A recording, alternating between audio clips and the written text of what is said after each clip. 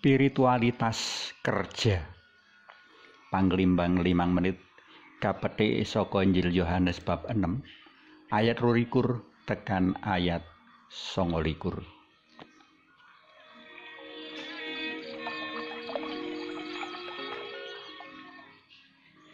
Para sutresna PLM kinasih sapa kang ora nyambut gawe ora susah mangan Mangkono dawuh Santo Paulus marang umat ing Tesalonika.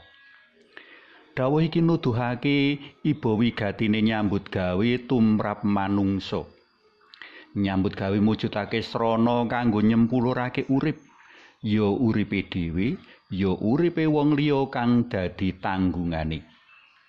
Ora mung tekan semono, kanthi nyambut gawe manungsa maneka perangan kabutuhaning manungsa bisa kapenuhi. Maneka perangan kabutuhan mau kayata kabutuhan fisik utawa badani, kabutuhan sosial utawa sesrawungan, sarta kabutuhan kanggo pratelan diri utawa nuduhake diri marang liyan. Miturut Abraham Maslow, rikala manungsa bisa nyukupi perangan kabutuhan-kabutuhane uripe bakal jenjem lan bungah.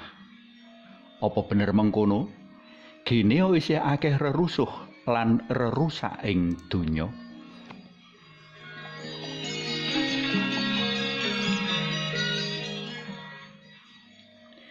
Marang wong-wong kang padha goleki panjenengane ing waosan dina iki, Gusti Yesus medhar dawuh.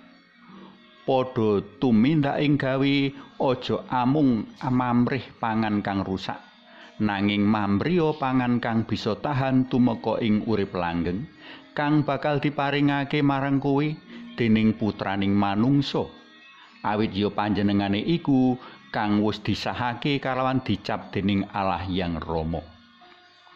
Iki kapratelakake dening Gusti Yesus jalaran panjenengane pirsa gelagat menawa Gusti Yesus samung bakal didadekake alat supaya wong-wong mau bisa mangan tanpa tandang gawe. Harak saben dina Gusti bisa nangkarake roti lan iwak. Kanthi pangeram-eram numangkarake roti lan iwak, panjenengane kersa nuduhake marang wong-wong mau. Menawa panjenengane kautus dening Allah yang Rama, menehi urip tumrap manungsa. Mula mangsuli pitakonene wong-wong mau Gusti Yesus ngendika.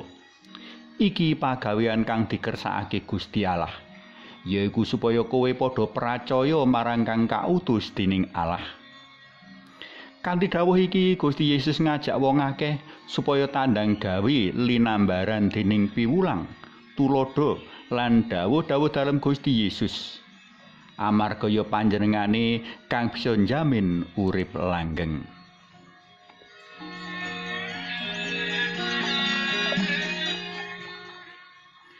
Para sutresna PLM kinasih. Bali marang prakara ing cecala. Geneo isih ana rusuh lan rusak ing donya rikala sakeh perangan kabutuhane manungsa wis kapenuhi. Minangka jawabane yaiku amarga wong-wong mau amung buru kabutuhan kang sipate kadonyan. Rikala manungsa ngubah diurip langgeng mesti bakal tandang gawe linandhesan paugeraning urip kalanggengan. Geneo akeh wong ngaku ahli swarga nanging gawe rusak lan rusuh. Jalaran wong-wong mau padha katrikung dening pemahaman Allah lan swarga kang kleru. Supaya ora tansah rusak lan rusuh, prayoga padha percaya marang Sri Yesus kang mulangake paugeran welas asih. Prayoga kaamalake paugeran dalem mesti bakal tentrem lan langgeng.